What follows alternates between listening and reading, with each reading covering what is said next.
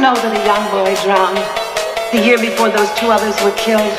The counselors weren't paying any attention. They were making love while that young boy drowned.